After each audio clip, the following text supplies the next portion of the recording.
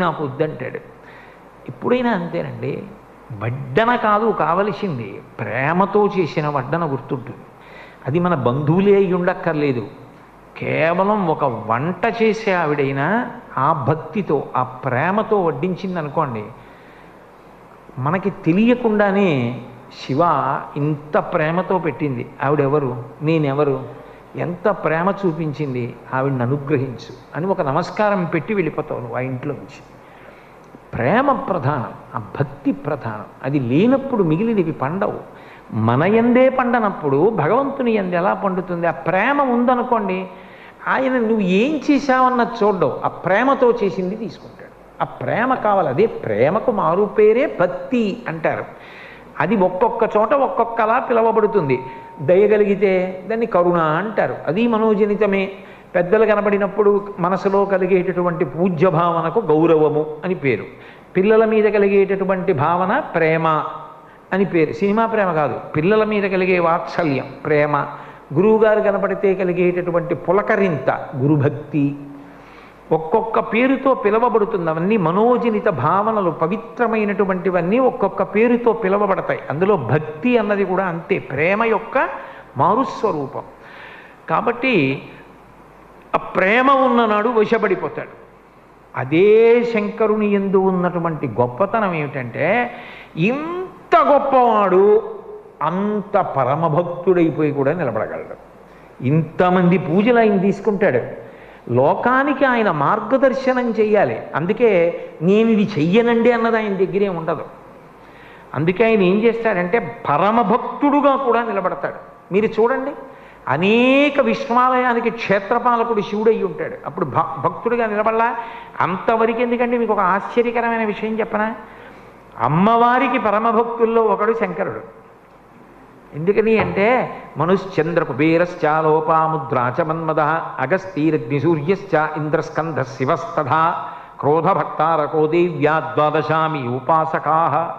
అమ్మవారికి పన్నెండు మంది గొప్ప ఉపాసకులు ఉన్నారు ఆ పన్నెండు మంది ఉపాసకుల్లో శివుడు ఒకడు శివదూతి ఎప్పుడైనా సరే ఆఖరి అస్త్రం ఆవిడ ఏం ప్రయోగిస్తుందంటే వీడిక మాట వింటలేదు వీడిని సర్వనాశనం చేసేయాలనుకుంది అనుకోండి ఒక రాక్షసుణ్ణి శివుణ్ణి పిలిచి దూతగా వెళ్ళంటుంది. ఆయన రుద్రస్వరూపంతో చూసి వస్తాడు ఒకసారి అంతే అది నాశనం అయిపోతుంది అందుకే ఆ రుద్రాంశలో వెళ్ళాడు మహానుభావుడు హనుమ.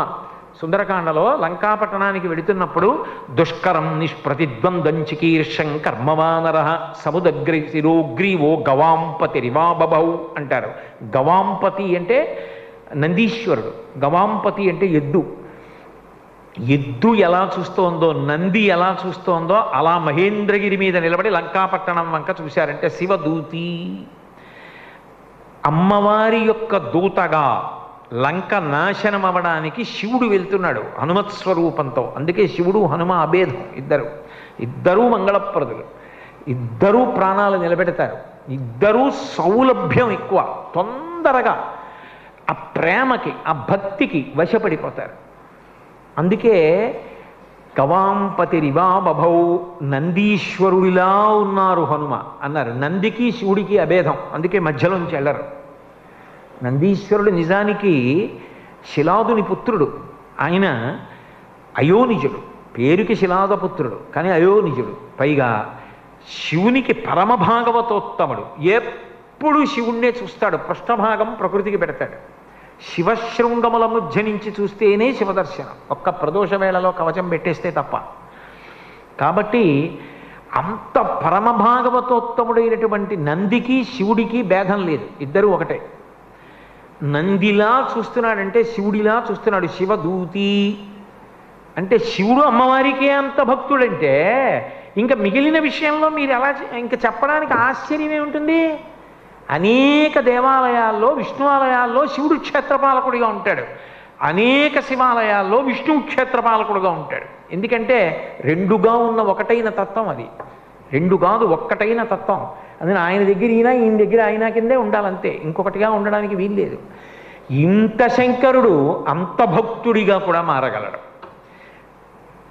మీరు ఆదర్శంగా తీసుకోవాలి జీవితంలో అంటే ఇంకా ఆయన కన్నా అన్వయం చేయడానికి మీకు ఏమీ ఉండదు. అంత భాగవతోత్తముడుగా కూడా కనపడతాడు శివుడు.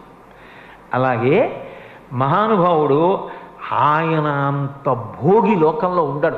చాలామంది ఏమనుకుంటారంటే శివుడికి భోగం ఏమిటండి? పాపం ఏముండదు ఎప్పుడు అలా నీళ్ళు పోసుకుంటూ ఉంటాడు అనుకుంటారు.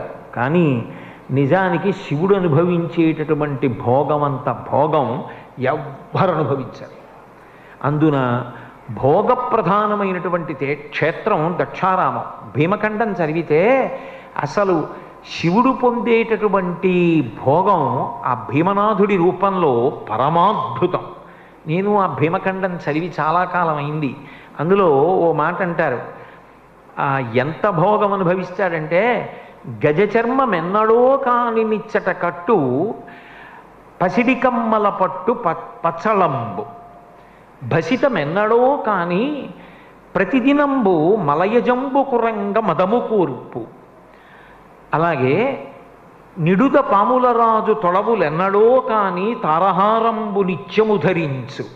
నృకరంక రుండమాలలెన్నడో కాని ధరించు కల్హార దామమిపుడు. కాట నడచక్కి ఎన్నడో కాని దక్షవాటిక స్వర్ణ సౌధముల మీద నుండు పిశాచుల నిన్నడో కాని ఇందువదలన నెల్లకాలంబు తలచు భీమేశ్వరుండు అంటారు శ్రీనాథుడు. భీమఖండంలో పద్యం. ఎంత భోగం అనుభవిస్తాడంటే అసలు దక్షారామంలో గజచర్మం కట్టట. ఎప్పుడూ ఒక్కసారి కట్టుకుంటాడు అంతే మరి ఏం కట్టుకుంటాడు?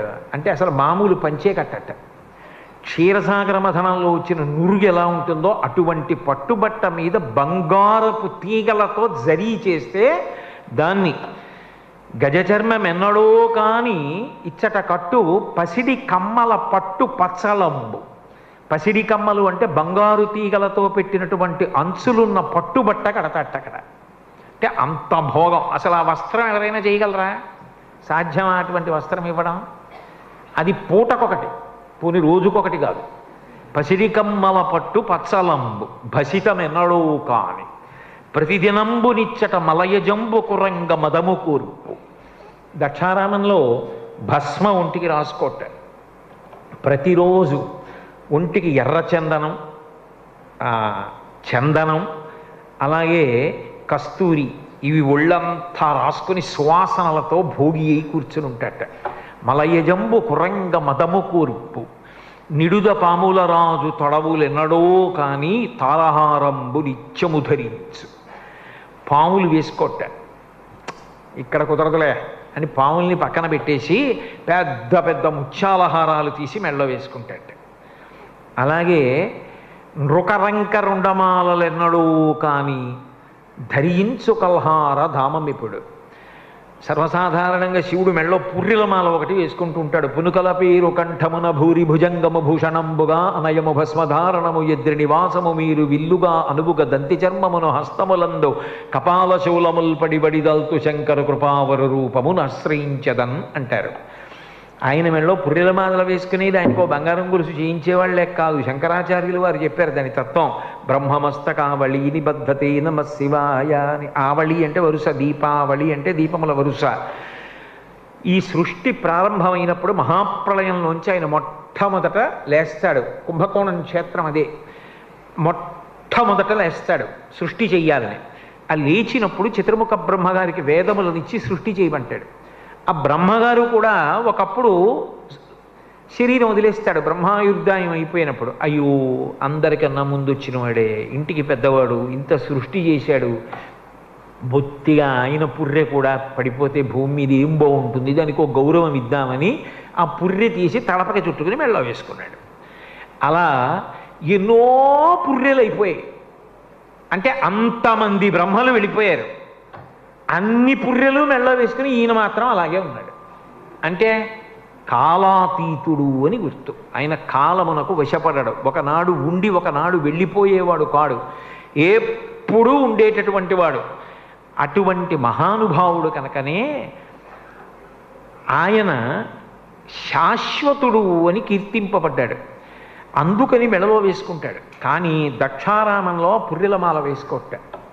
నృకరంక రుండమాలలెన్నడో కానీ ధరించు కహ్లార దామమిప్పుడు పెద్ద పెద్ద తామర పూలు అందులో మామూలు తామర పూలు కావు. మామూలుగా మీరు చూసే తామర పూలు ఒకలా ఉంటాయి. నేను కొన్ని కొన్ని ఊళ్ళల్లో చూసా మా ఊరి దగ్గర కాపవరం అనే ఓ ఊరుంది. అందులో ఆ చెరువులో ఉన్న ఎర్ర తామర పువ్వు మీరు ఓ చేతితో ఎత్తి పూజ చేయలేరు.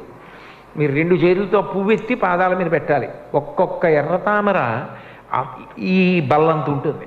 అంతంత పువ్వులు పూస్తుంది అంతంత కేసరాలు అంతంత దళాలు అంత అందంగా ఉంటాయి. అటువంటి పువ్వులతో చేసినటువంటి తామర పూల మాల వేసి కూర్చుంటాట తప్ప పుర్రెల మాల వేసుకోట ఇక్కడ కాదులే వాయ్ పక్కన పెట్టంటట.